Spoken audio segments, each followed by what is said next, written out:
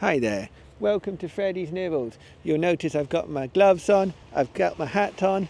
That's because we're going on tour. We're going to be taking this wagon over here, we're going to be going to that island over there. We'll be learning a bit of history, we'll be learning a bit of literature, and they'll be nibbling. Our crew of safety, and if you have any questions,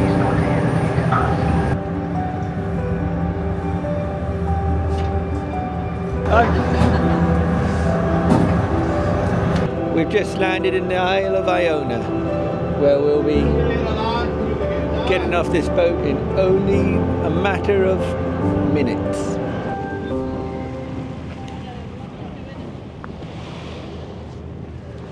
Welcome to Iona!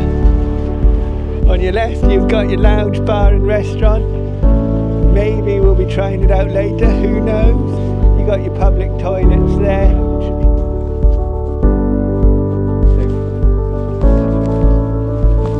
So this is what we've come to see. This is Iona Abbey, possibly the Abbey of Iona, I forget. This is where Christianity in the United Kingdom was born.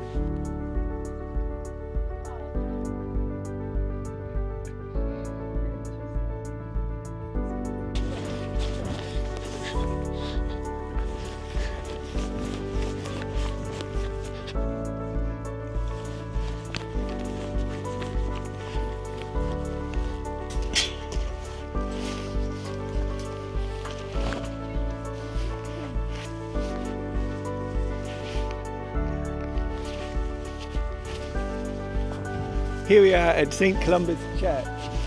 You can tell it's a church because of the two crosses here and here and the general church form. So big St Columba back in 570 something came here from Ireland and made this.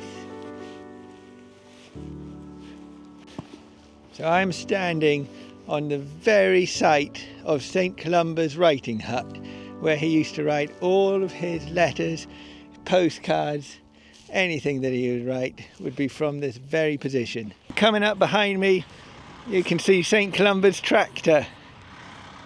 Usually comes out at about this time every day, carrying a little grass in its shovel, looking very new. I think this might be a new tractor.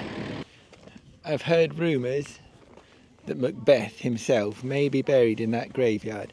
You'll notice a little scaffolding around this area. This is obviously not uh, original and probably temporary. Would likely, within the next 10 or so years, I think we'll see this scaffolding being moved away from this area of the building.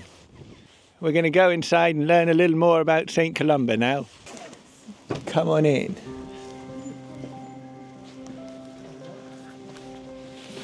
We're inside the abbey now. We got pointy arches here. We got Bibles in many languages here. And we got a few seats around the area as well. We're going to head a little deeper into the abbey now. Step forward in time to around the year 800 AD when the Book of Kells, my favourite book, was written here in Iona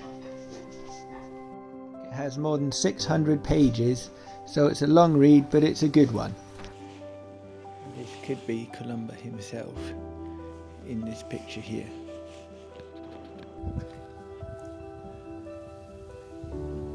Now we're going to go to the beach, St Columba's beach on the Isle of Iona when he introduced beaches to the United Kingdom in around the year 346. This is the moment we've been waiting for, guys. It's nibbling time. Cooking in the outback is a little different from cooking in the kitchen.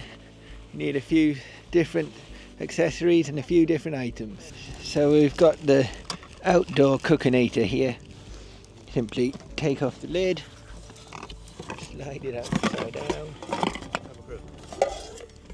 take this bit out, and then that's about it. Sit in front of it, the wind went. So today we're cooking up some sausages, also known as snorters, porkins, sizzlers, bangers, uh, les saucissons in French, and tubular delights. As you can see, they are frying up nicely in here now. We're getting a bit of heat on. Um, and then we'll get the bread out and make a little snorter sando. Now, cooking for friends can be a real treat.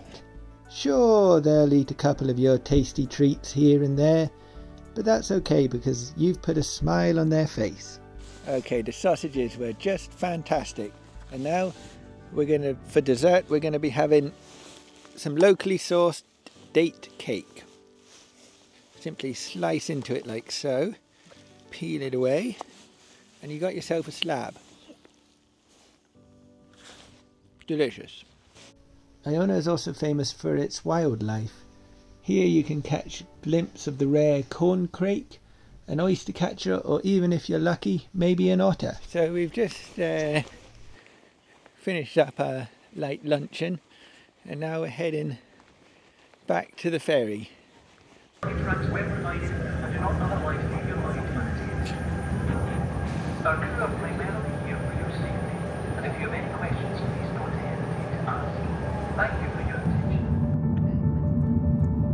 What is Iona?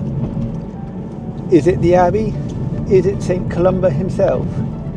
Is it the white, white sandy beaches? And the answer is, it's none of these. Iona is an island.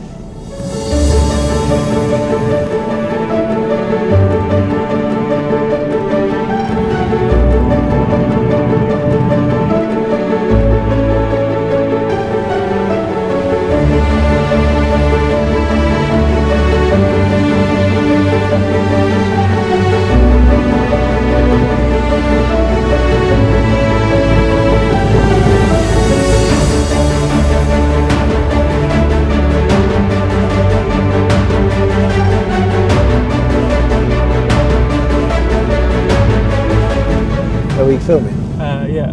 Okay.